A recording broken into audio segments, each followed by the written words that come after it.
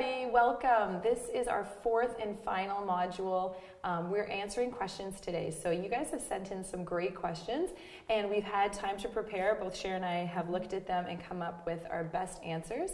And I'll just preface this by saying some of the answers we have uh, from direct experience that either we know this, we've lived this, uh, and some answers we've kind of researched. So we tried to really go to a source um, that would get you what you wanted to know. And so we've done that. We'll make a suggestion based on like best practice out there.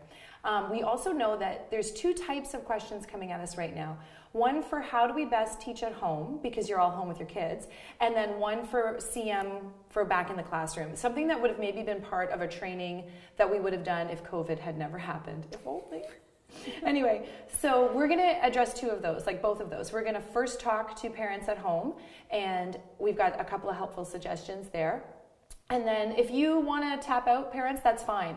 Uh, and then right after that, we'll be talking to CM leaders. So just some ideas for coming back into the classroom. All right. Thanks for joining us today. I'm going to open in prayer. Heavenly Father, I just thank you that we can come to you anytime and that you hear us. I thank you that you've given us the opportunity to be able to do these um, modules. I just thank you for Jill and her willingness to help us and Pastor Evan and his willingness to help us. I thank you for um, our church and that they want to pour into families and parents and leaders. So I just pray that this would be helpful.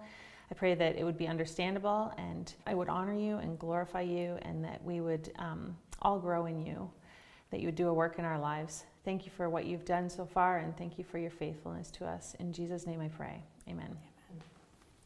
Hooray. Okay, so first for parents at home, we've got a couple of things that we just wanted to talk about. One of the questions that we got, we could start with maybe, is uh, how do I teach such a varied age group? So we, we know, because yeah. we both have four kids. Um, mine's 11 and then down to three. So that's kind of a span, and yours are? Yeah, 17 down to 12. So we don't actually do the lessons anymore uh, because Malachi's in junior high. But um, you've been there. We've been there. Yeah. so we had some suggestions because I think that that's exactly what's happening. We're trying to do Sunday school with our kids, and you know somebody's eating the Play-Doh, kind of a thing, and then other kids are really ready to have a great conversation and a great discussion and really get into it. And how do you do both or three or four, right?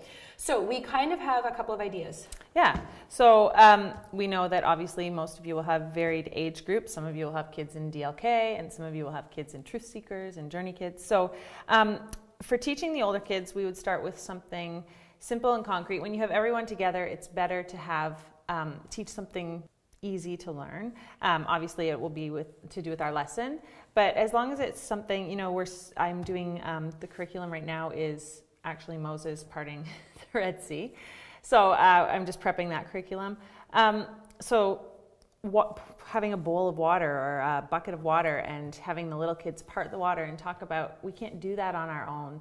Um, the Israelites, Moses and the Israelite, Israelites needed God to part the water for them. They couldn't get through, so that's how that miracle worked. And explain that to them. And then, you know, as the little kids get tired of listening and are done playing with the water, then you have a bigger conversation with the older kids about it. So that's something that could be helpful. Um, then another suggestion that we had was repeating the truths two or three times or more during the week. But it's better, repetition is always better. I remember when I was doing piano lessons, do your scales five times each every day. I hated it, but I can do them really quickly now.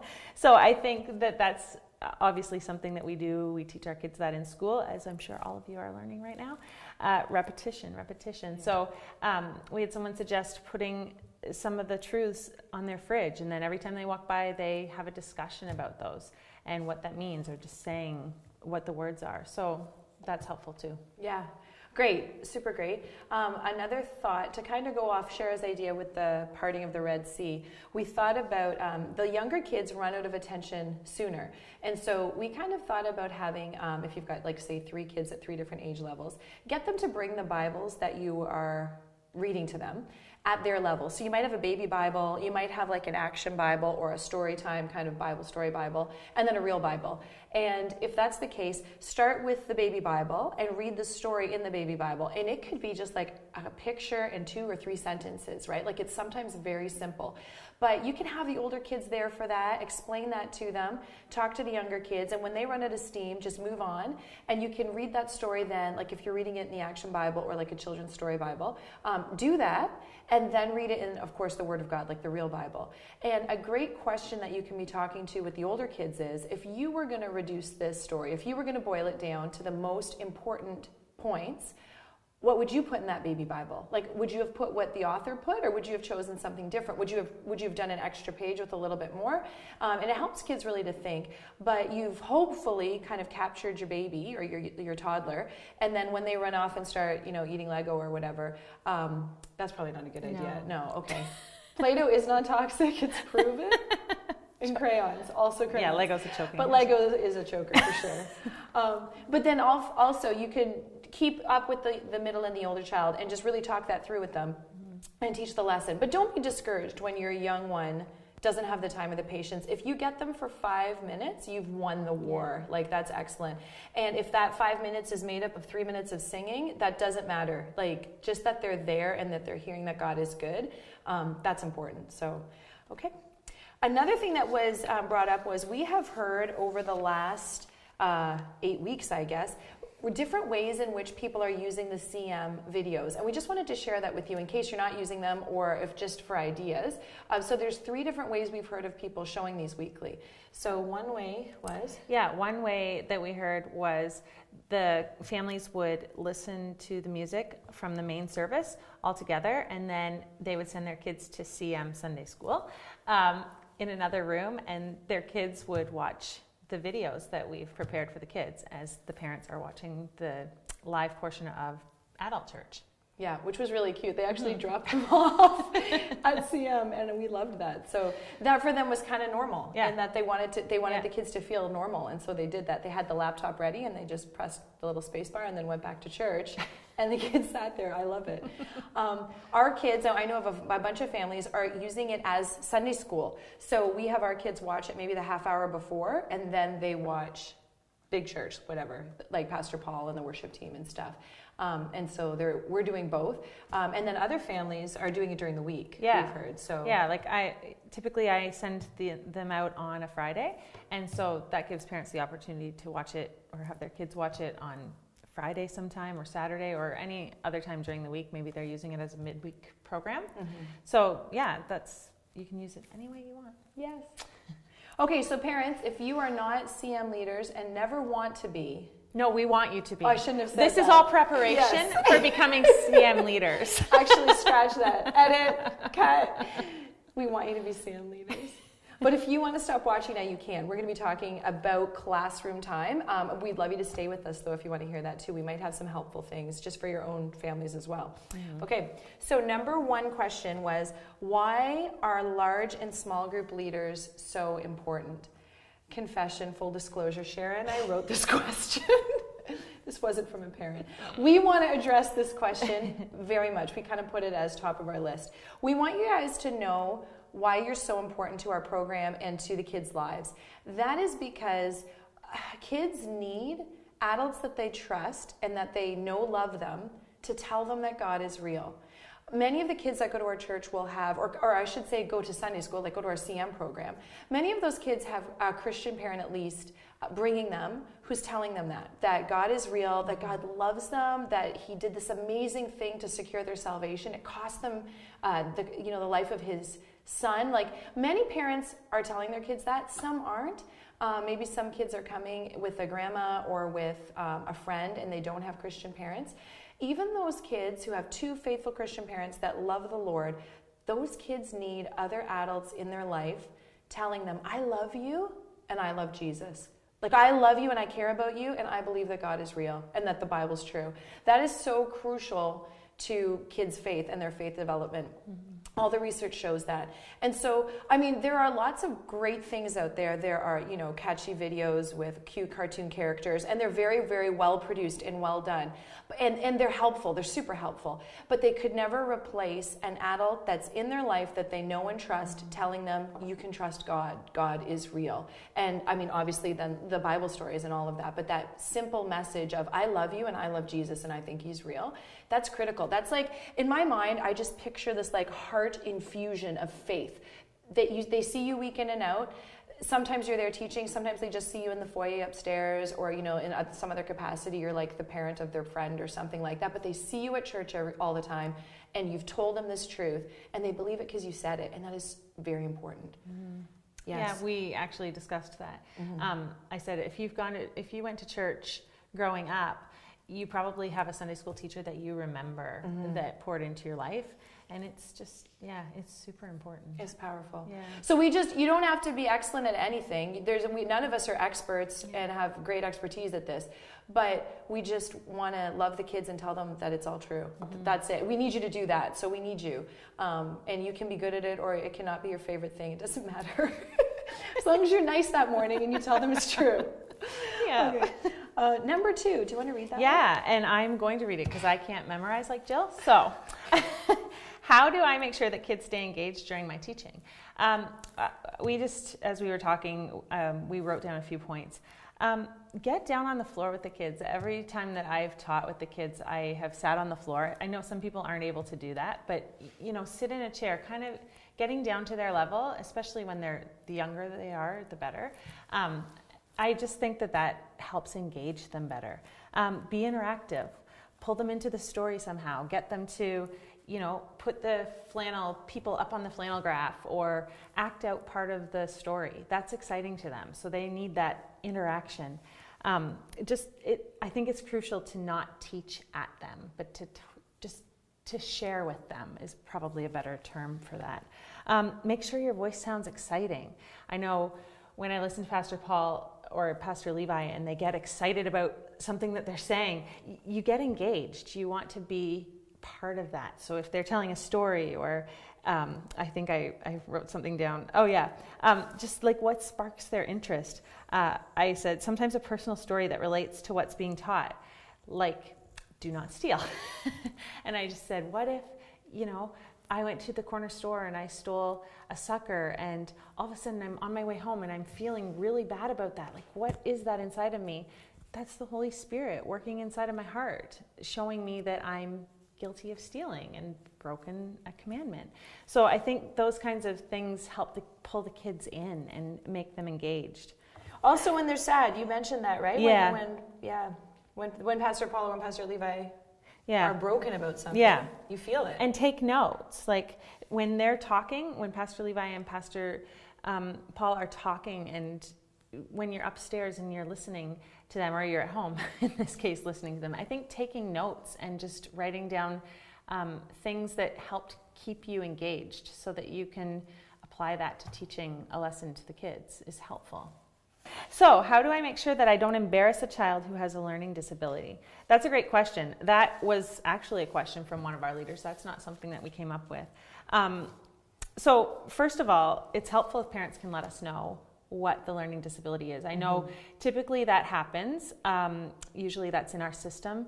Sometimes when it's in our system and you have a different oversight person on a Sunday, they forget or they don't know. So sometimes it's helpful if the parent just comes to the classroom leader and says, just so you know, like Johnny's not able to read aloud in front of people because he has a hard time, he has a, a learning disability, he's not able to read. Um, I, I know from experience that that has has happened. Uh, it happened to my husband actually with his uncle. So it wasn't even somebody he didn't know, but mm-hmm. he was. They were doing a Bible study, and he was asked to read aloud, and he was a kid and didn't feel comfortable with that and never wanted to go back to that Bible study because he was embarrassed and he couldn't read mm-hmm. and felt like he was being made fun of. So uh, he wasn't, but I mean, and you realize that as an adult, but it's terrifying. It's terrifying. Mm-hmm. So I think making sure that you never center a child out, never say, okay, we are all going to take a verse and read a verse. That's scary to a kid. There are you're going to have kids that so want to engage and do that but allow kids to do that. And if nobody puts their hand up for reading, just just carry on, keep going, and just keep reading the Bible. Mm-hmm. Like I think it's just we have to make sure that we're not centering anybody out and making them scared.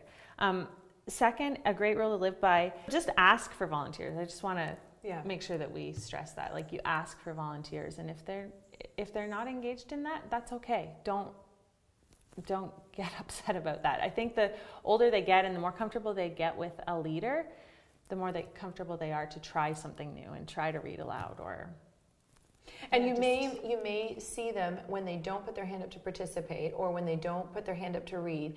You kind of may interpret that as they're not interested or they're I don't want to say they're being bad, but just maybe that they're not interested, especially if. Mm-hmm. some negative behavior goes with that. You may think that you may kind of judge the kid, but really it might be that they are not comfortable reading. Uh, they can't, you know, it's something that they struggle with, and that it all kind of goes together. And it's not, they're not bad at all. They're not trying to act out. They're not trying to be defiant in any way. It's just they're nervous. They're afraid that that's going to happen to them, and so that just could be where they're at. So, And we want to make sure that kids always want to come back. So uh, make it an environment of we love you again, we love you and we want you here. So, you know, just make them feel welcome and safe.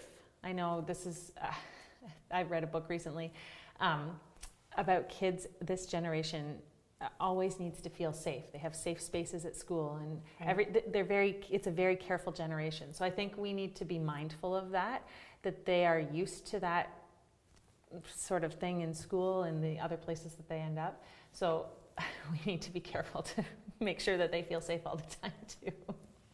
Yeah. we can do it. Yeah. We can do Oh, that. sure, we can. this is the safest place. And now we come to my question How do I maintain good classroom control? Or what are some good classroom management strategies? So that was asked of us. Um, safety goes out the window. Yeah. No, just joking. No, for real. Um, so I would say, first and foremost, the environment, the, the kind of culture that you create in the classroom is key. It is make or break. So I would say everybody who's an adult who is not the leader talking should be sitting with kids on the floor watching the leader. Um, this couldn't be any more important. You might not think it is, but when the leaders lean on the back wall or like sit in chairs behind or stand up with their arms crossed, kind of like this, um, already the kids are not they don't think the leaders are engaged with what's going up on the like going on up front. Um, so for the the kids to be sitting with their leaders a super super helpful. And then if a kid's kind of whatever playing with their shoelaces or kicking somebody else you're right there within arm's reach. Hopefully a leaders within arm's reach to kind of be like hey or whatever right? Really quiet. So that's the first thing that we would say. Um, the second thing is know everybody's name and i know that's going to sound so basic but i don't know how uh, many times just knowing a child's name i'll be teaching and somebody will just be having a moment right? They're distracted by something and i just have to say their name chippy and then all of a sudden he's watching me again and he knows that i see him and i didn't say anything mean i didn't say it in a mean way i just said his name and all of a sudden he's back um, so know the kids names and don't be afraid to use that you can just say their name it doesn't have to sound mean when you say it Uh, sometimes you can say it mean too As long as they feel safe. as long as they feel safe. Just joking. Don't say it mean. I guess. I guess we'll say that. Yeah, right for the yeah, internet. yeah. We'll say that. Okay. Um, also, though, it's better. Like if you're a small group leader and you're you're not on stage or whatever up at the front and you're there. I know I do this whenever I'm anywhere else and I'm not leading. I am the most engaged listener in the room. I have found so many times when we'll be at VBS and say someone else is teaching the Bible study or someone else is doing songs up at the front, if I come in, people will turn around and look and see that you're there and they watch what you do. When you're a leader, they watch what you do when you're wearing that shirt.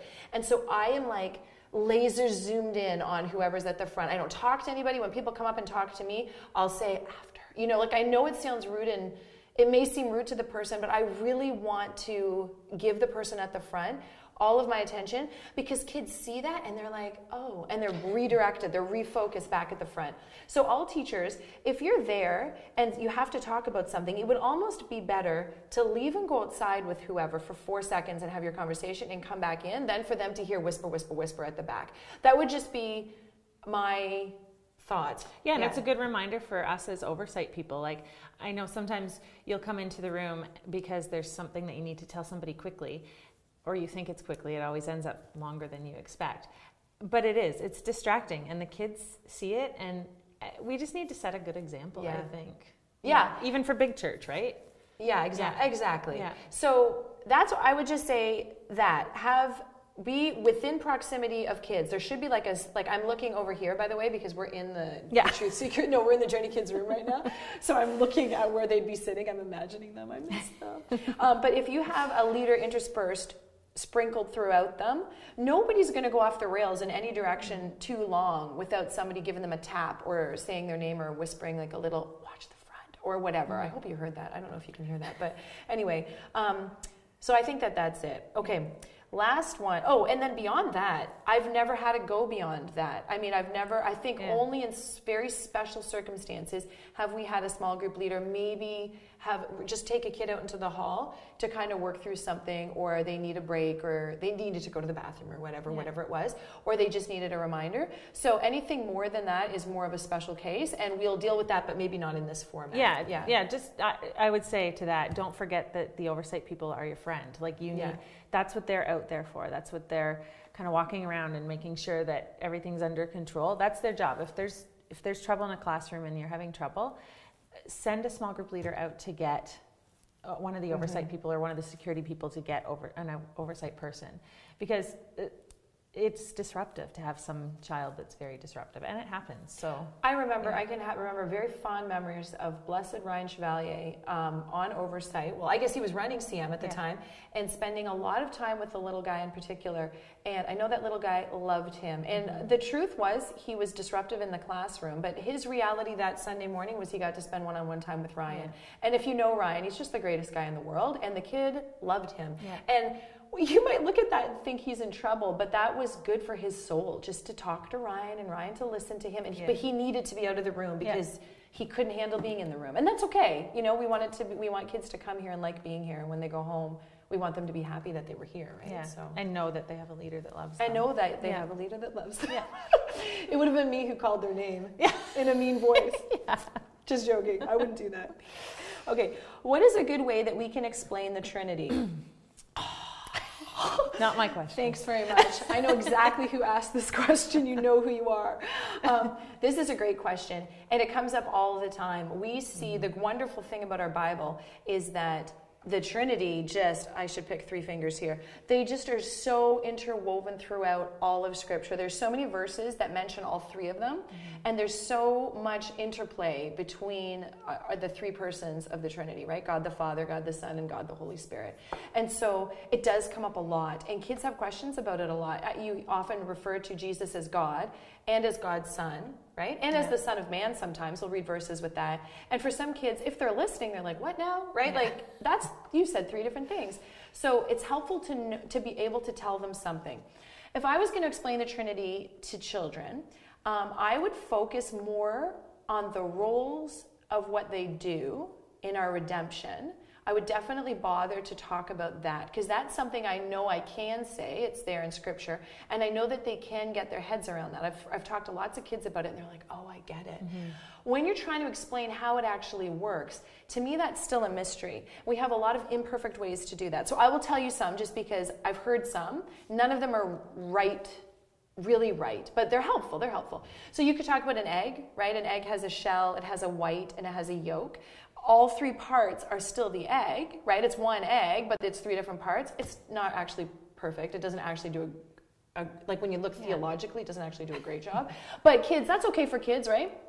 You can talk about uh, water. So there's three states of matter for water, right? That kids are kids would know about. They would know about water, ice, and steam. Yet it's all water. Yet it takes these three forms, right? It's that's probably the wrongest, if that's a word, because God doesn't change from one state to another, right?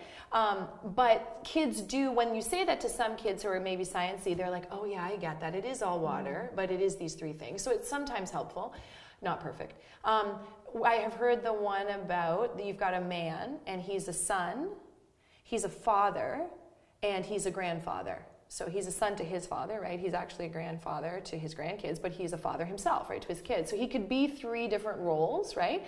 And he's still one person, not perfect either. And there's like theologically, there's problems with that. But again, for a child, they could see, oh yeah, my dad is, yeah, he is a dad and a husband and a son to my grandpa. Oh yeah, I get it. Like they could get that, right? So that can be helpful if they don't think too hard into it. they don't go to Bible college. Just joking.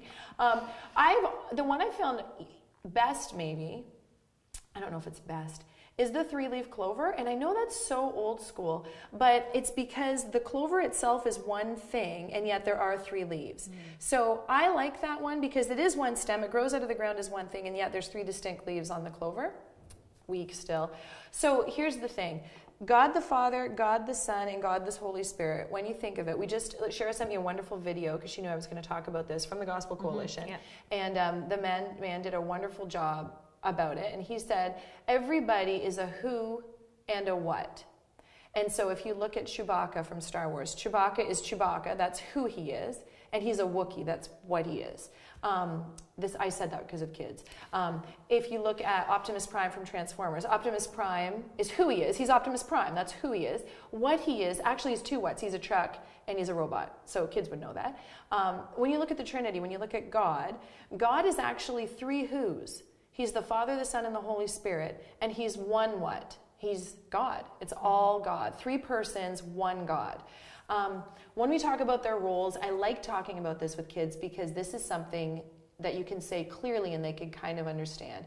When you talk about when we were saved, it was God the Father that organized and uh, came up with the plan of redemption, the plan of salvation. So he uh, asked the Son, he sent the Son. It was him that initiated salvation.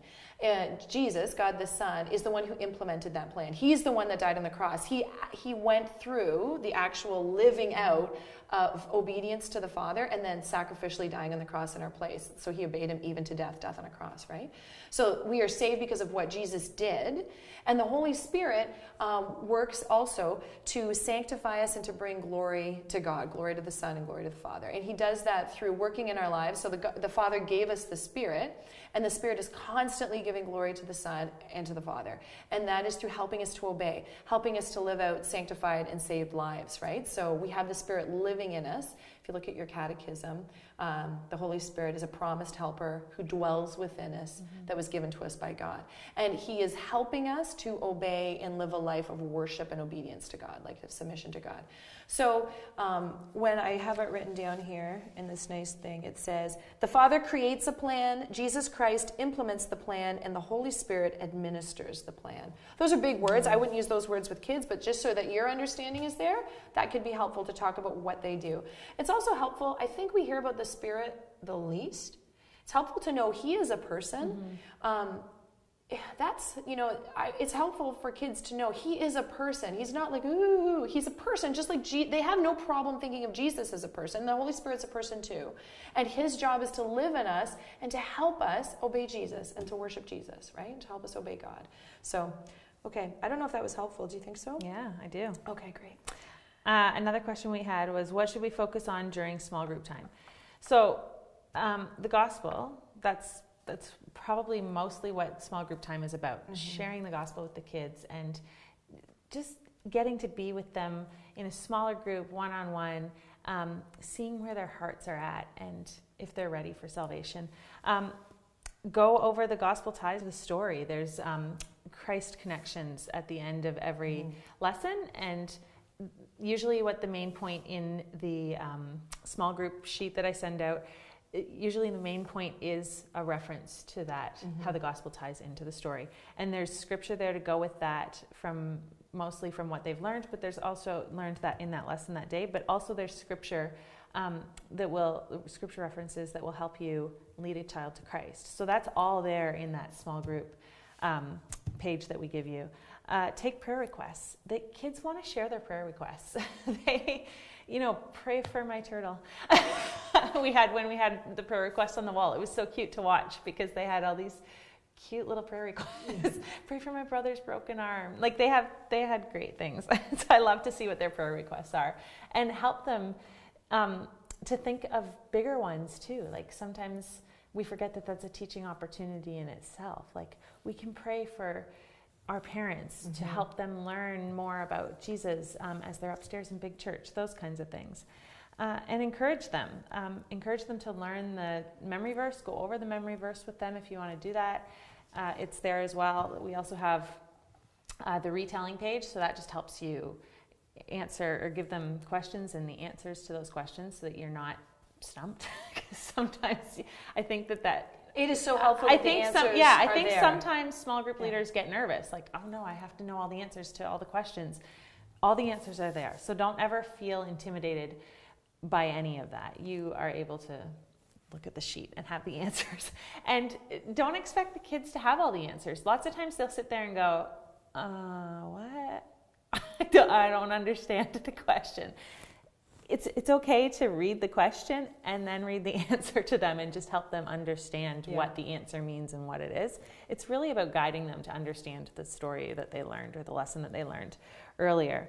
And then uh, Jill wrote down, I I give out a ton of candy. I don't give out as much candy as Jill, although I would eat, I would everyone. eat all the candy that Jill gives out, but I don't give yeah, out as much as you. Group, if a kid gets the right answer, everyone gets candy. Yeah, I wouldn't. I wouldn't do that. Yeah. I would only give candy to the kids it's that got win, the right win, answer. Win, yeah. win, win, win situation.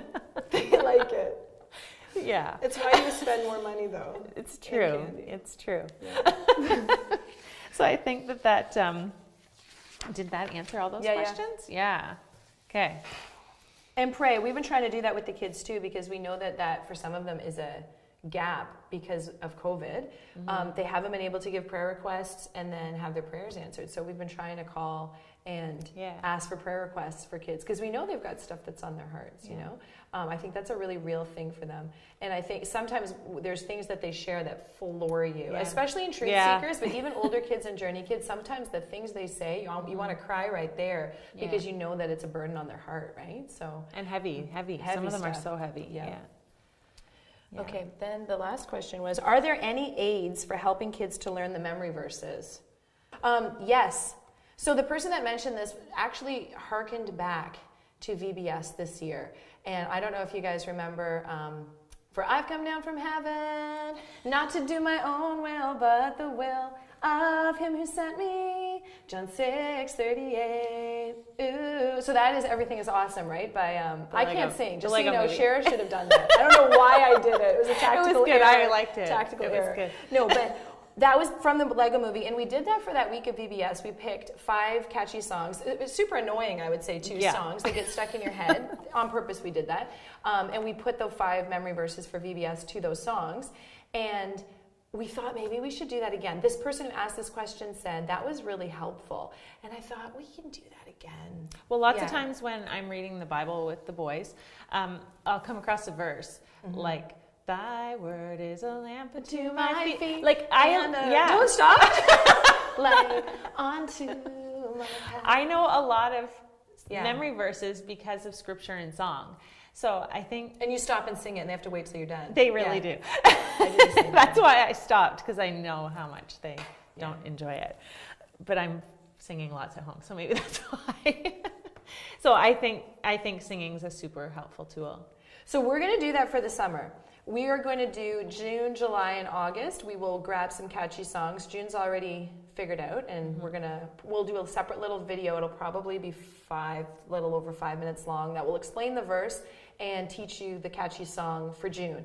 And then you've got a month. You can show it to them a hundred times if you want to. That video on YouTube, and they can learn June's memory verse that way. We're also going to do some kind of a competition with it. So we will launch yeah. all of that and explain that to you, but that could help.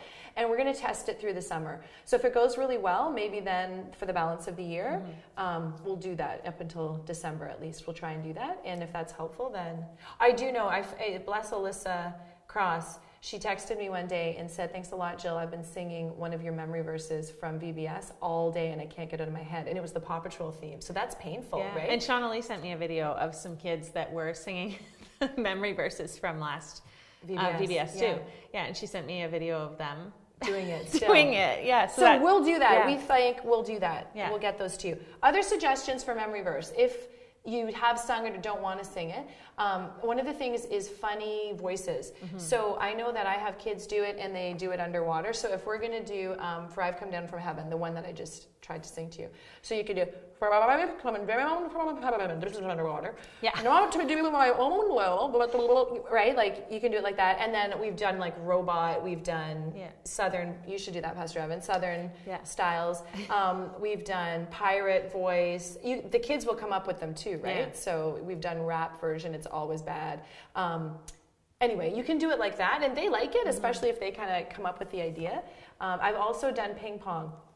So let's do John three sixteen ping pong just between the two of us. Okay. Do we know that? For God so loved the world. that He. you get the idea. Yeah. so you can go back and forth um, with the kids, and you just kind of point to each side of the room, and the kids go back and forth doing the verse ping pong. So there's I- also Well, I was going to say another one that I know my mom uses uh, when she teaches is she has every word written on a different piece of paper and she'll paste it all up on the wall and then she'll take it away and so Right. it's a good memory or Yeah, you know leave blank spots and yeah. like B I N G O, but Yeah, you're like yeah. I N G O, but with the verse, right?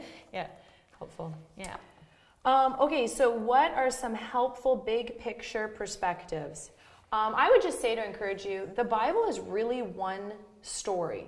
Um, I, there was a leader in particular who asked this, and uh, they kind of got bogged down sometimes with the idea um, that there's a God of the Old Testament and a God of the New Testament. They don't believe this. They don't believe this, but they felt like sometimes um, the kids maybe come in with that idea that the God they see in the Old Testament is different from the God of the New Testament. And really, if we know and are constantly showing God through His Word as one God, it's one God that loved us, one God that was willing to do the unthinkable to, see, to uh, secure our salvation, and who had that planned from the beginning, you know, um, I think that that's really helpful. And so, um, I'm just trying to think if there's anything else I. I was just going to say the gospel project that we use, the gospel project curriculum that we use, is very good at Right. pulling all that together and always bringing Jesus back into the story The so that it it. shows them, yeah, that, Yeah. good- that God is the same God of the entire Bible. Yes, and I remember now um, what I was thinking. When we were talking about the Trinity, we answered the Trinity question first because it's important to know um, it wasn't just Jesus who saved us. And I think that um, even a mom was talking to me this week about that, and they said that they had been feeling like that, that, um, that God the Father was maybe a bit harsh and that it was thank goodness for Jesus who saved us. And it's so important for kids not and, and again, she knows that's not true, but sometimes we feel things like that, right? And so it's so important to message to kids clearly right from when they're really really little. God the Father initiated our salvation. He created that plan of salvation. And Jesus walked that plan of salvation for us. And the Holy Spirit now is the one that even um, enables us to be able to grab onto faith, right? Like through the gift of faith. And so that's an important thing to be able to message to them all the way through that the God that we see in the Old Testament is a loving God that is the same God that sacrificed his son in the New Testament to save us.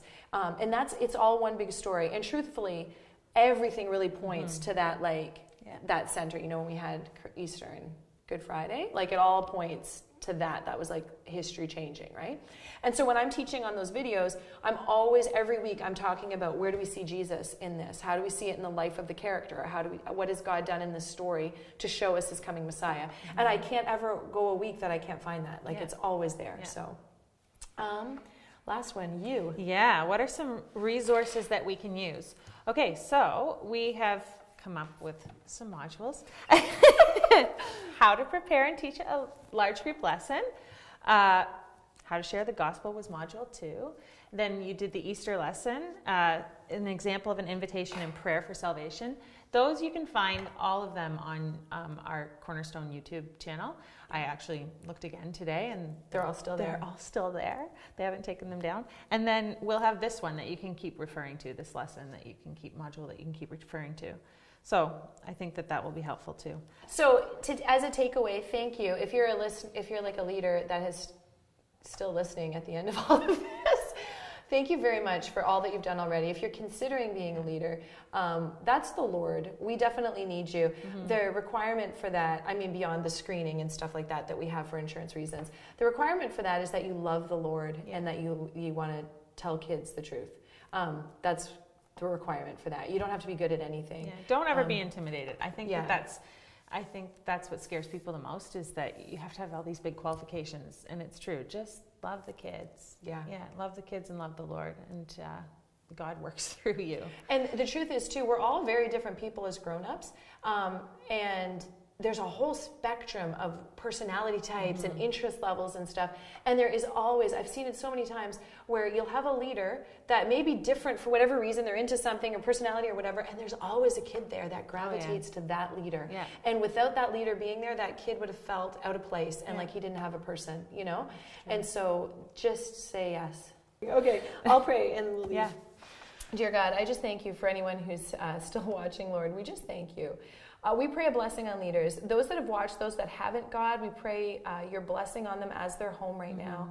We pray a blessing on parents as they are right now the principal teacher in their children's lives. And God, I mean, they always are the principal teacher in their children's lives. We're so thankful for them, for the devoted families that we have at this church, God.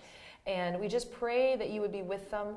We pray, God, that um, they would have joy and great just success and excitement over finding you in your word and what you've given us in your word to know about you, that all of that would just be a blessing to them.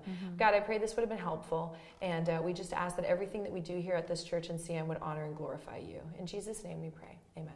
Amen. Okay, bye. Thanks for watching.